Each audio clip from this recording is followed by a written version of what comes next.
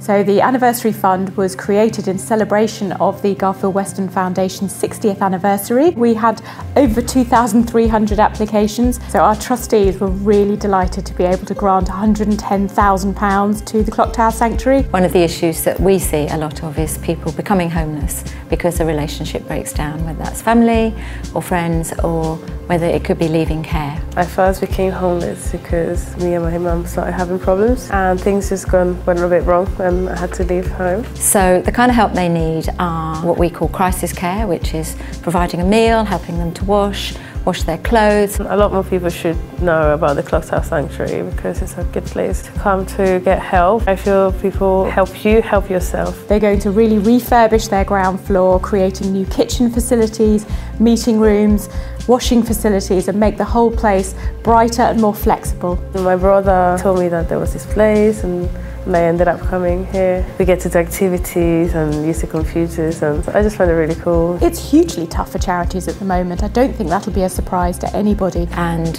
we know that statutory funding is reducing, the need is increasing. So they're having to do more with less. Every year we take a survey of our clients and we ask them what a difference it makes to them. And their answers range from it's great to be able to come and wash my clothes and meet my friends and have a meal to somebody saying that the Clock Tower Sanctuary has saved my life to the Garfield Weston Foundation. I am very happy that you guys um, have given the Clock Tower Sanctuary this opportunity to have more facilities and make it better for the young people. On behalf of all the clients, the staff, the volunteers and the trustees of the Clock Tower Sanctuary, I'd like to say an absolutely huge thank you. We really, really, really appreciate it. It will change our life here.